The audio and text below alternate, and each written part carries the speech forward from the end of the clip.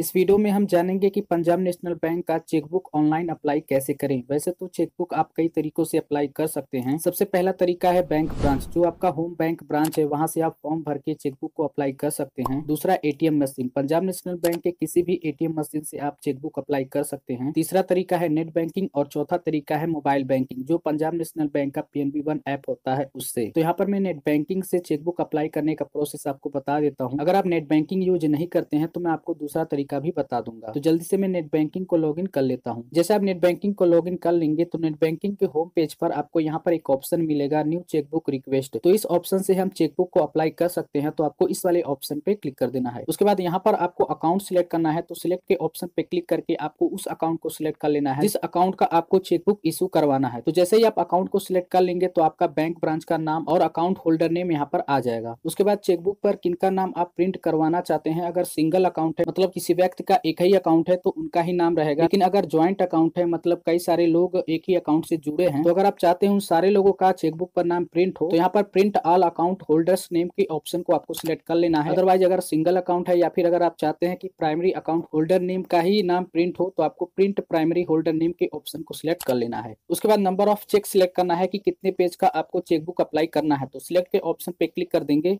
तो यहाँ आप 20 पेज 50 पेज और 100 पेज का चेकबुक अप्लाई कर सकते हैं। तो आपको अपने अकॉर्डिंग यहाँ पर सिलेक्शन कर लेना है कि कितने पेज का आपको चेकबुक चाहिए।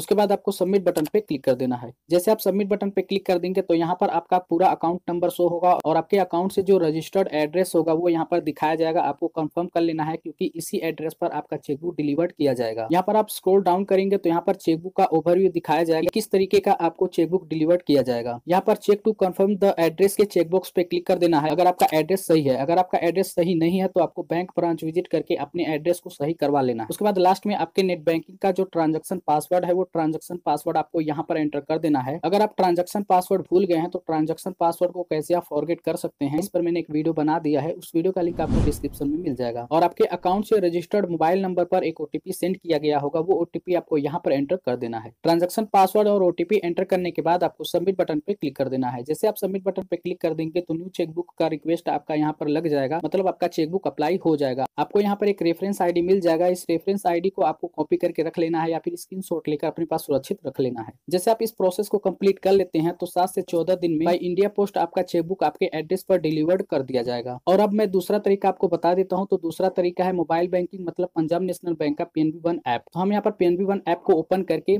अपने एम पिन से लॉग हो जाते हैं।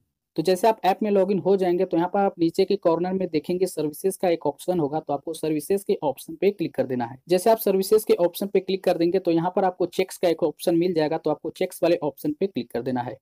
जैसे आप चेक्स के ऑप्शन पे क्लिक कर देंगे तो चेक से रिलेटेड यहाँ पर सारे ऑप्शंस ओपन हो जाएँगे। तो हमें चेकबुक को अप्लाई करना है तो चेकबुक अप्लाई करने के लिए यहाँ पर एक ऑप्शन दिया गया है, रिक्वेस्ट फॉर चेकबुक तो आपको इस वाले ऑप्शन पे क्लिक कर देना है। जैसे हमने रिक्वेस्ट चेकबुक के ऑप्शन पे क्लिक कर दिया तो यहाँ पर एक इरर आ गया। This functionality has been temporary disabled मतलब कुछ समय के लिए यह सर्विस अभी डिसेबल है, लेकिन यह सर्विस कुछ समय बाद एक्टिवेट कर दिया जाएगा। मतलब आप चेकबुक को अप्लाई कर सकते हैं। तो जैसे हमने नेट बैंकिंग से चेकबुक अप्लाई किया है सेम उसी तरीके से पीएनबी वन ऐप से हम चेकबुक को अप्लाई कर सकते हैं। वही प्रोसेस होने वाला है। सबसे पहले आपको अपना अकाउंट सिलेक्ट करना है। अकाउंट को सिलेक्ट करने के बाद कितने पेज का आपको चेकबुक चाहिए, वो सिलेक्शन कर लेना है। प्रोसेस पे क्लिक कर देना है। और ऐप में आपको टी पिन एंटर करना है। उसमें ट्रांजेक्शन पासवर्ड एंटर करना था, इसमें टी पिन एंटर करना है। जैसे आप टी पिन एंटर करके सबमिट पे क्लिक कर देंगे, आपका चेकबुक अप्लाई हो जाएगा। तो इस तरीके से आप पंजाब नेशनल बैंक का चेकबुक ऑनलाइन अप्लाई कर सकते हैं। इसके बाद भी अगर आपका कोई क्वेश्चन है या फिर आपको कोई डाउट है तो कमेंट सेक्शन में पूछ सकते हैं। मैं आपका हेल्प ज़रूर करूँगा। वीडियो एंड तक देखने के लिए आपका धन्यवाद।